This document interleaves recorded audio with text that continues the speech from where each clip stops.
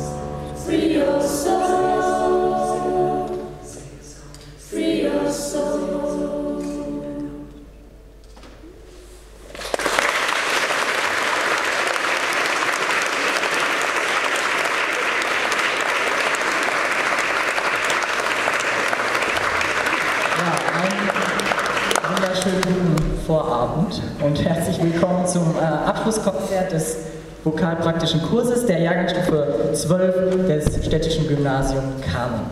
Wir freuen uns natürlich, dass Sie am heutigen Abend hier zu uns gefunden haben und hoffen natürlich, dass Sie das auch im Laufe des Konzerts nicht bereuen werden.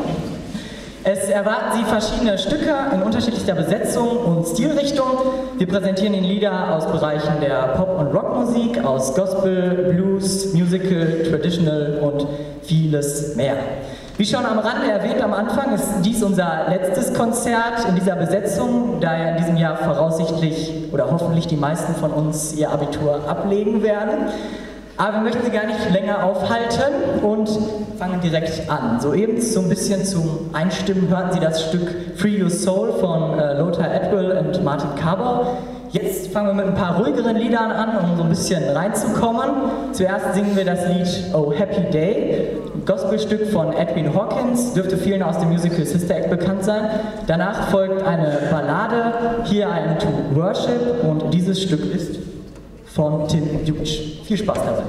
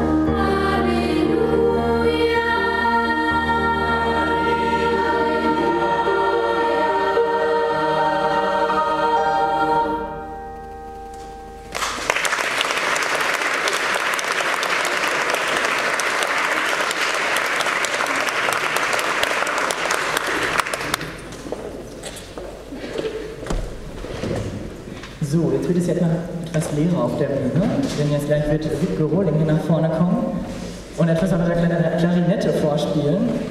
Ja, kommen wir auch nach vorne. So. Ich werde dazu ein bisschen Klavier spielen. Und als erstes werden wir Ihnen einen Blues in F von Rudolf Mords präsentieren und gleich darauf traditionelles Stück aus äh, der Kletzmer-Musik. Das ist eine aus dem Judentum stammende traditionelle Volksmusik. Wiebke Rohling spielt die Klarinette, ich am Klavier wir gucken mal, wie das klappt.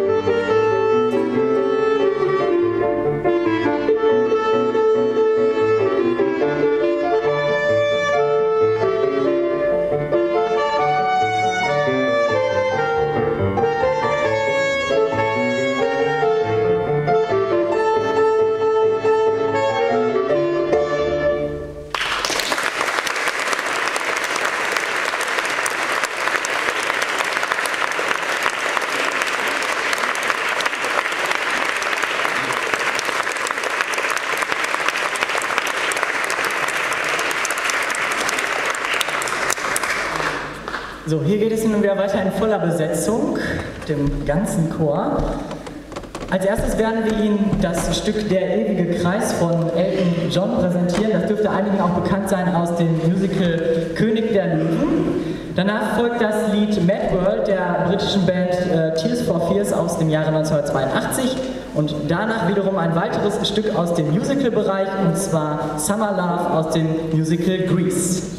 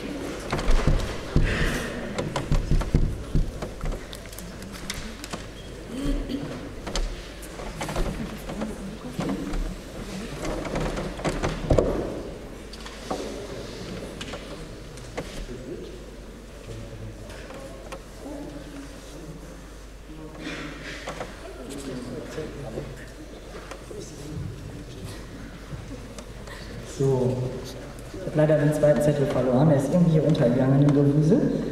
Aber das ist egal, denn jetzt äh, hören wir erstmal ein Stück Orgelmusik hier, ein Werk. Lukas Borgschulte wird gleich was an der Orgel spielen, und zwar Penguins Playtime von Nigel Ogden.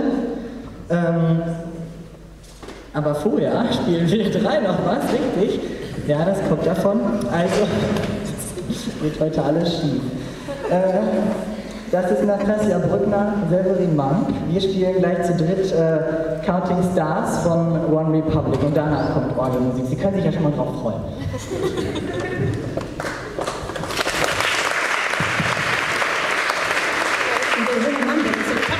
Allround-Genie, hier etabliert als Klavierspieler, als Begleiter, als Sänger und als Moderator.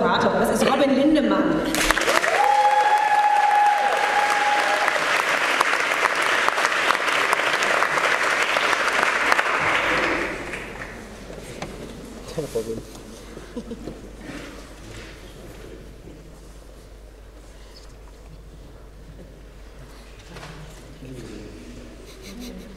ist alles weg. Das sortiert jetzt mal durch.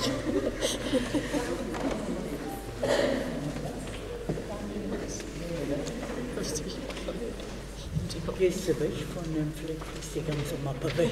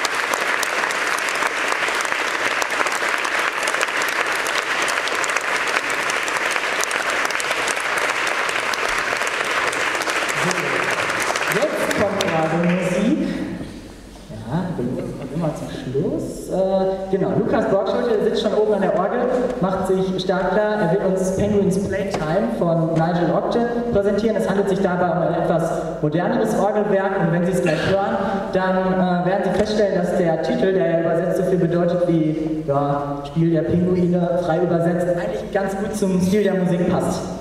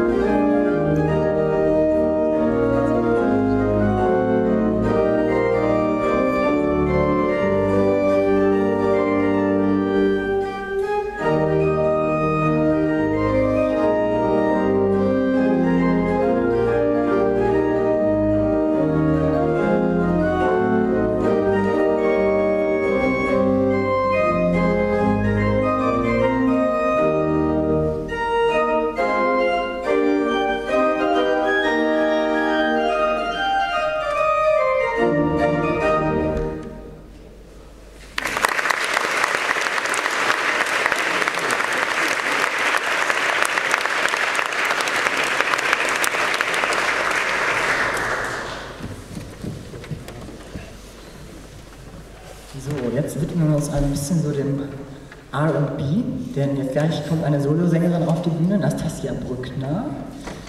Sie wird Son of a Preacher Man von Dusty Springfield singen. Und wir sagen einfach mal,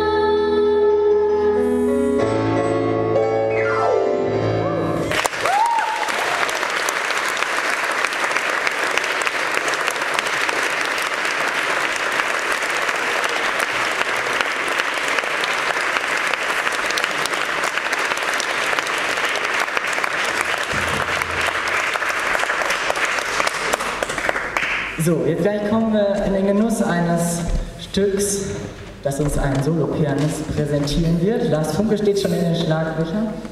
In Startlöchern, in den Schlaglöchern. In den, Startlöchern. Äh, zum alten Gebäude, da kommt man schon mal aufgetanzt. Den, also er steht in den Schlaglöchern, präsentieren äh, wird er uns All of Me von John Schmidt und wir sind gespannt.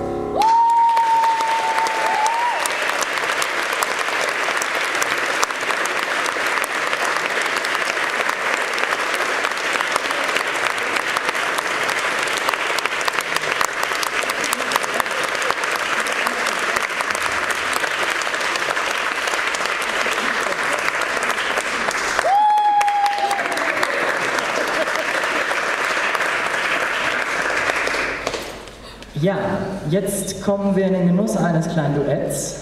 Und zwar bestehend aus Nastasia Brückner und Christina Fissum. Ja, Nastasia, du bist heute viel gefragt. Nein. Nein, stimmt. Der Plan hat sich spontan geändert. Ähm, und wir hören jetzt erst wieder ein Lied des ganzen Chores, und zwar Just the Two of Us von Grover Washington Jr. und danach Seasons of Love aus dem Musical Rent.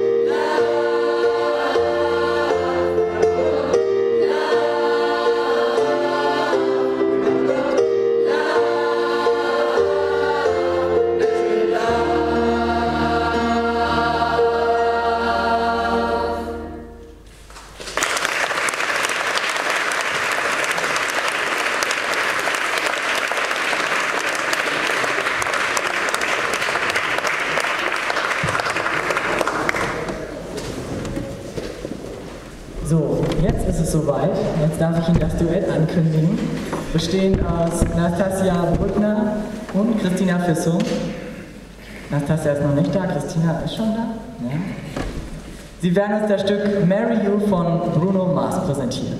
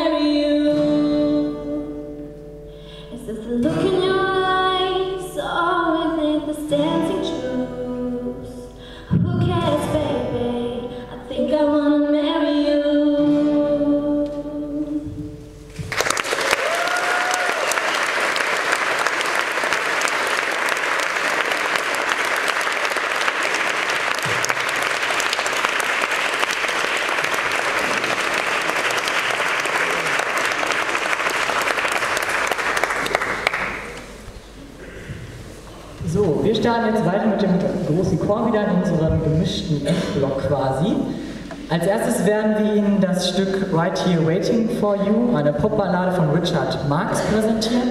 Danach folgt das Rock-Pop-Stück My Life von Billy Joel aus dem Jahre 1978. Und danach singen wir zum Schluss die passend Happy Ending von Mika aus dem Jahr 2007. Ja, das Konzert verdankt diesem Stück quasi seinen Namen und der Titel dient gleichzeitig quasi als Symbol für das Ende dieser Ära.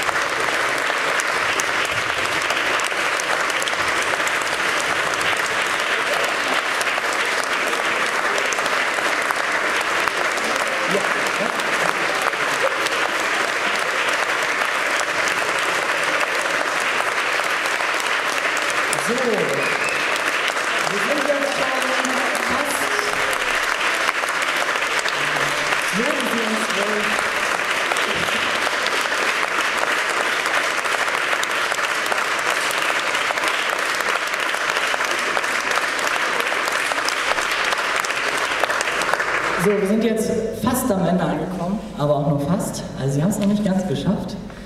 Aber natürlich müssen wir uns bei ein paar Leuten bedanken, die uns hier einen großen Gefallen getan haben, dadurch, dass sie hier etwas künstlerisch beigetragen haben.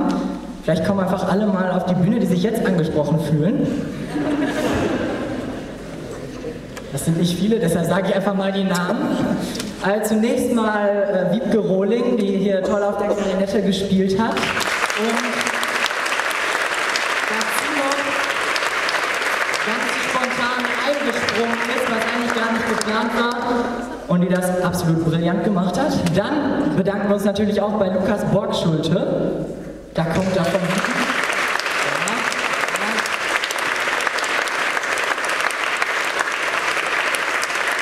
Er hat uns auf jeden Fall die Arme gegriffen, ein paar Lieder auf dem Klavier begleitet und hier das hübsche Orgelwerk beigetragen. Vielen Dank dafür. Dann wollen wir uns natürlich auch bei Judith Kesper bedanken. Du bist zwar nicht in unserer Stufe, aber hilfst trotzdem immer fleißig mit und haust ordentlich auf die Pauke.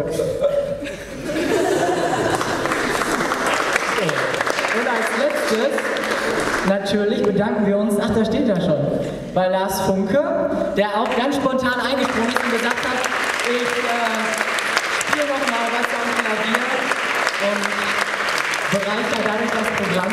Er hat sich allerdings verspielt, deshalb kriegt er keine Blume. Nein, also dadurch, dass er so spontan eingesprungen ist, äh, kam der Florist nicht nach und dann jetzt fehlt die Blume. Aber es gibt gleich einen ganz großen Strauß, da kann er bestimmt eine Blume von abhaben. Denn jetzt kommt äh, die wichtigste Person, die jetzt ordentlich gelobt wird. Und zwar Frau Annette Dumpe-Fischer, unsere Chorleiterin. So, sie ist immer wirklich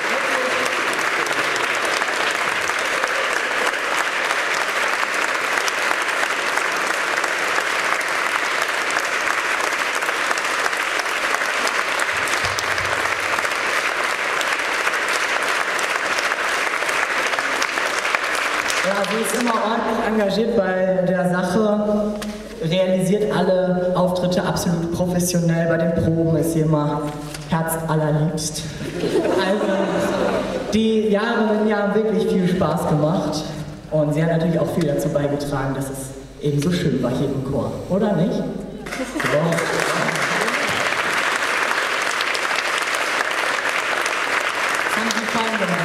So. Ja, jetzt sind wir eigentlich auch schon am Ende mit der Lobhudelei. Oder habe ich irgendwann vergessen? Der kann sich jetzt eben melden. Niemand fühlt sich angesprochen, Gott sei Dank. Ja. Was? Ach so, ja, Christina hat auch noch toll gesungen, das stimmt. Okay. Aber Sie müssen jetzt auch noch ran ein bisschen. Also ganz ohne Singen kommen Sie jetzt auch nicht hier davon. Wir möchten nämlich jetzt gerne das Stück Möge die Straße mit Ihnen zusammen singen. Begleitet wird das Ganze von Lukas Borgschulte, der jetzt ganz schnell nach oben rennt zur Orgel und einen Riemen auf selbe gelegt. Ja, ich möchte auch nochmal die Gelegenheit nutzen und mich bei allen Beteiligten herzlich bedanken, weil mir das natürlich auch sehr, sehr viel Spaß macht, gerade mit der Gruppe hier. Und irgendwie sind wir so ins Gespräch gekommen, man, man redet ja auch mal so zwischen den Proben mal ein bisschen und haben halt überlegt, dass wir nach den Sommerferien im Abendbereich so ein Projektchor anbieten wollen für ehemalige und Freunde und werden das mal kundtun, also auf der Homepage das kundzutun, der Schule, vielleicht auch über die Zeitung, dass wir mal ein Projekt planen wollen und mal gucken, was passiert. Ich bin da ja immer, lass mich immer überraschen, manchmal man ja sehr positiv überrascht und das hoffe ich einfach in diesem Falle auch. Und das würden wir gerne mal andenken, denn ich habe ja hier auch viele Herren, die gar nicht mehr eigentlich zur Schule gehören. Vielleicht seid ihr mal auf, die sozusagen Ex-Schüler, die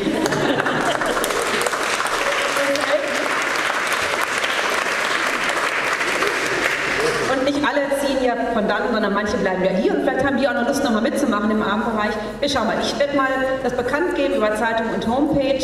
Schaut mal nach, alle, die Lust haben, sind herzlich eingeladen, dann zu dem ersten Treffen zu kommen. So, jetzt müssen Sie ran, genau. Sie haben ja eine Liederzettel bekommen. Wir haben jetzt etwas genommen, von dem wir hoffen, dass das alle kennen. Deswegen ist das dieses Stück, weil das ja doch aus Gottesdienst, aus dem Gottesdienstbereich vermutlich bekannt sein dürfte. Wir bemühen uns, das jetzt vierstimmig zu singen und Sie singen natürlich die Melodiestimme mit.